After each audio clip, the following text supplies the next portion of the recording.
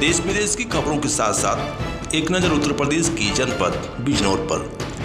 आपको बता दें, जनपद बिजनौर में नगीना तहसील क्षेत्र के ग्राम सुंदरवाली में सतगुरु धाम आश्रम है, जिस पर दिल्ली से पहुँचे श्री कृष्णानंद महाराज जी ने तीन दिवसीय सत्संग के दौरान श्रद्धालुओं को सत्संग के माध्यम से हिंदू सनातन धर्म के बारे में बताते हुए अपने धर्म के प्रति जागरूक किया और भंडारे का विशाल आयोजन भी किया। ये रिपोर्ट देखिए।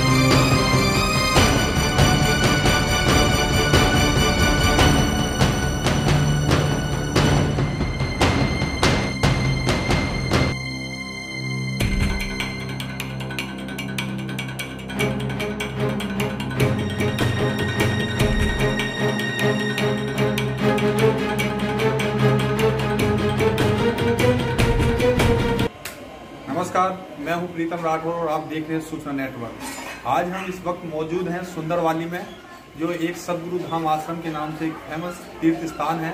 वहाँ पर दिल्ली से चलकर आए हैं सदगुरु श्री कृष्ण महाराज जी। उनसे आज हम बात करेंगे, यहाँ पे पहुँचे जो तीन दिवसीय सत्संग चल रहा है। इस संबंध में जनता के लिए क्या संदेश देना चाहिए सबसे पहले तो मैं सदगुरु महाराज जी का बहुत बहुत धन्यवाद करूँगा और इनका स्वागत है हमारे सूचना नेटवर्क न्यूज़ चैनल में। ये हमारे चैनल पर क्या संदेश देंगे इस माध्यम से? तो जी सबसे पहले आपका धन्यवाद और स्वागत है हमारे चैनल पर।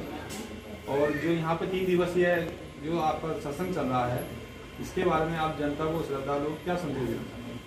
बहुत बहुत धन्यवाद।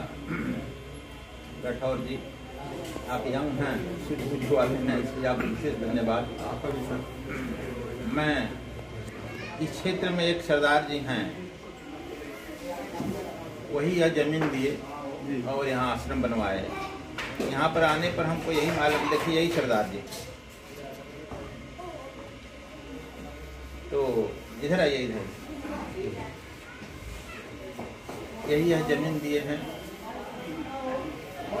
फिर आप लोग एक सरदार होकर ही उनको ज़मीन दिया ये लोग सब पटियाला के पंजाब बहुत सरदार लोग से ये लगभग यहाँ पचास एकड़ ज़मीन है। और आश्रम भी यही बनवा रहे हैं। तो हम यहाँ आकर देखें कि यहाँ पर यह इलाका घोर बैकवर्ड है और यहाँ बहुत निम्न स्तर के लोग हैं। निम्न स्तर मतलब लेबर क्लास के ही लोग हैं। और यहाँ पर जो ज़्यादा क्रिश्चियन धर्म का प्रचार हो रहा है। जी।